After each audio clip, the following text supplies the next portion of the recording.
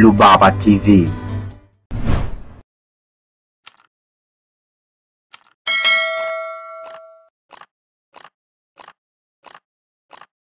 Inafahamika na ni wazi kwamba kitu chochote kile ili kiweze kufanywa kwa ufanisi na kwa matokeo mazuri ni lazima kifanywe kwa kanuni. Hata katika ufugaji wa kuku ni lazima ufugaji wako wote uwe katika kanuni ambazo ni za msingi na kanuni ambazo zinahitajika. Sasa katika kipindi cha leo, baada ya kuwa nimezungumzia vitu vingi sana kuhusiana na ufugaji wa kuku, katika kipindi cha leo natamani niweze kukujuza wewe kama mfugaji wa kuku au mfugaji mpya wa kuku kwamba unapoingia katika ufugaji huu, je, ni kanuni gani ambazo unatakiwa uzizingatie na hizi kanuni zinafanya kazi vipi? Na katika kipindi cha leo nimelenga katika kukuelezea zaidi hizi kanuni. Zipo chache, lakini ni za msingi na ni za muhimu sana, kwa sababu ufugaji wenye tija ni unapoanzia huko, na endapo usipozifata hizi kanuni basi moja kwa moja unaweza ukajikuta ufugaji wako wote umekuwa ni wa hasara au usikufikishe mbali. Kwa cha msingi, kama wewe ni mgeni hapa, fanya kusubscribe na kubofya alama ya kengele ili kuwa kwanza kupata updates na video ambazo tunaziweka hapa ndani ya Ruvaba TV. Lakini pia ni vyema ukamjulisha na mwenzako ili naye aweze kujifunza vitu vingi ambavyo anatakiwa kujifunza. Sasa kanuni ya kwanza ni upande wa management nzima wa mradi wako au ufugaji wako na kitaalam tunahita husbandry. Sasa ninapozungumzia hapa, ina maana nazungumzia kea nzima ambayo wewe mfugaji unaichukua kwa hawa kuku wako, na maana the way au jinsi ambavyo wewe unaamua na vitu ambavyo vinahusiana na hivyo. Hakikisha vyote hivi unavifanya kwa usahihi na jinsi inavyotakiwa. Kama banda inatakiwa kuwa zuri, hakikisha banda ni zuri kwa sababu ya kuwawezesha au kuishi vizuri kama ni huduma hakikisha kuna mtu maalum kabisa kuwapa huduma. Kama ni kucontrol movement au kuingia na kutoka kwa watu katika banda lako, hakikisha unavifanya vyote kwa usahihi. Hii ni kitu cha kwanza cha muhimu sana, kwa sababu wafugaji wengi huwa wanachukulia ize kwamba wasipo, yaani wanachukulia ufugaji ni kama kitu cha kawaida tu, na wanajikuta sasa wanapata hasara, kwa sababu haijalishi ni kuku aina gani unaofuga, wanaweza wakawa wakaathiriwa na management mbaya, kwa sababu unapokuwa na management mbaya, basi hata matatizo na magonjwa yote inakuwa ni rahisi sana kuweza kuwafikia hawa kuku wako. Mfano, kwa mfano kwenye banda lako labda hamna utaratibu mzuri wa kuingia, labda ina maana mtu yoyote tu anaweza akaingia bila kujua ametoka wapi au ni nini ametoka kufanya. Hiyo inaweza ikawa ni changamoto kidogo kwa upande wa ufugaji wako. Kwa hiyo kama unataka kufika mbali, hakikisha unafanya management au husbandry kwa usahihi kabisa na kutokuwa na doubt zozote au kutokuwa na mashaka yoyote. Sasa hiyo ni principle na ni kitu ambacho cha kwanza kabisa wewe ndugu mpenzi mtazamaji unatakiwa kuzingatia. Lakini kanuni zingine au kitu kingine ni upande wa chakula. Hakikisha unawapa kuku wako chakula safi pamoja na kinachotosha. Namaanisha nini kusema hivi? Hakikisha unawapa kuku wako chakula cha kutosha na ambacho kinahitajika, kwa sababu tunafahamu katika kila hatua kuku anakuwa na mahitaji tofauti tofauti. Kifaranga na mahitaji tofauti na kuku anayekua, lakini kuku anayekua pia na mahitaji tofauti na kuku anayetaga.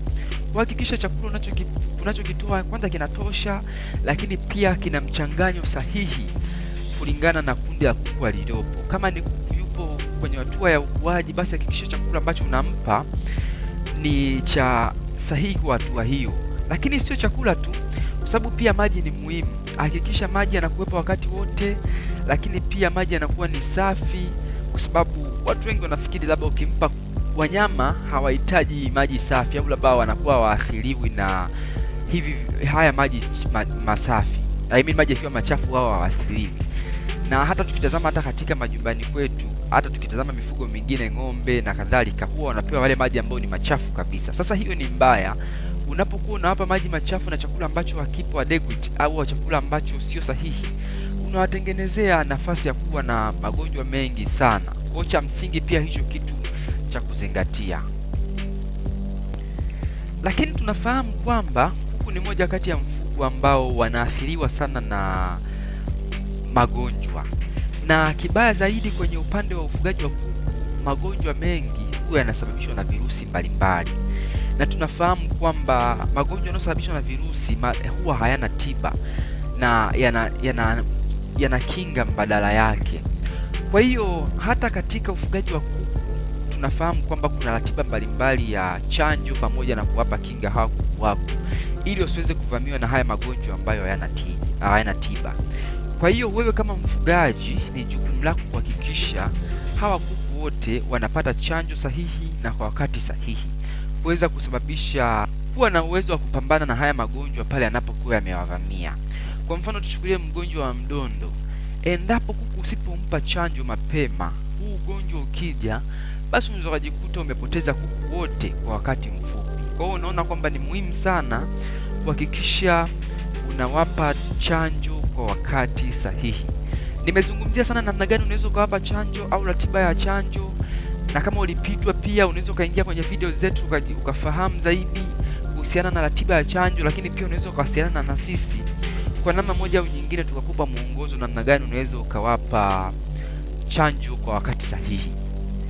Na principle au kanuni nyingine ya mwisho ambayo nitaizungumzia kwa leo ni upande wa maradhi pamoja na vifaa ambavyo vinatumika pale katika banda lako.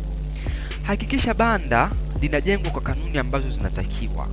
Kama ukubwa unatakiwa huu, basi hakikisha unaweka hivyo. Kama unatakiwa unaezeka vizuri, unatakiwa kuweka vitu vyote ambavyo vinahitajika katika banda bora, kwa sababu wakulima wengi wamekuwa wakifanya yani, wakifanya haraka haraka huwa waki waki, waki, waki, wakiacha kuweka vitu fulani ambavyo ni lazima kuepusha gharama, na mwisho wa siku imejikuta imewakosti badala ya kuwasaidia.